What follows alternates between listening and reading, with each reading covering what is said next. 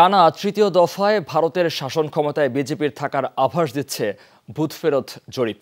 সব জরিপই বলছে সাড়ে তিনশোর বেশি আসন পেতে যাচ্ছে বিজেপির জোট এনডিএ। শনিবার চূড়ান্ত ধাপের ফলাফল শেষে এই জরিপ প্রকাশ করা হয়েছে।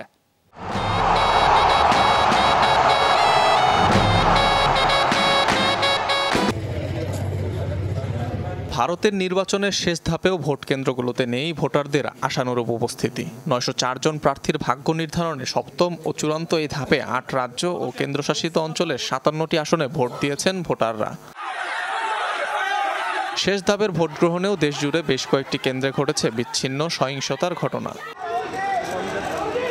ভারতের প্রধানমন্ত্রী নরেন্দ্র মোদীর আসনেও এদিন অনুষ্ঠিত হয়েছে নির্বাচন। উত্তরপ্রদেশের বারাণসী থেকে লড়ছেন তিনি। এছাড়া হেভিওয়েট প্রার্থীদের মধ্যে রয়েছেন কেন্দ্রীয় মন্ত্রী অনুরাগ ঠাকুর, ভোজপুরি অভিনেতা রবি কিষাণ, বিহারের সাবেক মুখ্যমন্ত্রী লালপ্রসাদ যাদবের কন্যা মিসা ভারতী, অভিনেত্রী কঙ্গনা রানাওয়াত, পশ্চিমবঙ্গের মুখ্যমন্ত্রী মমতা ব্যানার্জির ভাতিজা অভিষেক ব্যানার্জি। বিরোধীরা বলেছিল আমি নাকি আসব না। কিন্তু শুধু আমি নয় আমার পুরো টিমই এখানে এসেছে এবং ভোটের পুরো সময়টাই এখানে তারা ছিল। এখন মানুষকে বোকা বানানো এত সহজ নয়। সবাই সচেতন এবং সক্ষম মানুষকে যায়। এ দফায় ভোট দিয়েছেন এক ঝাঁক তারকা। পশ্চিমবঙ্গের দেব নুসরাত মিমি বলিউড তারকা আয়ুষ্মান খুরানা সহ অনেকেই প্রয়োগ করেন ভোটাধিকার। এ দফায় ভোট দিয়েছেন তৃণমূল কংগ্রেস নেত্রী মমতা ব্যানার্জিও।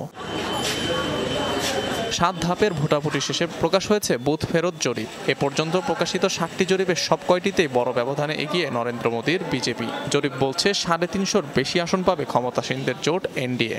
অন্যদিকে কংগ্রেসের ইন্ডিয়া জোটের ভাগ্যে জুটবে বড় জোট দেড়শো আসন। তবে বুথ ফেরত জরিপে আস্থা নেই বিরোধীদের। এখনও সরকার গঠনের আশা ছাড়ছেন না তারা।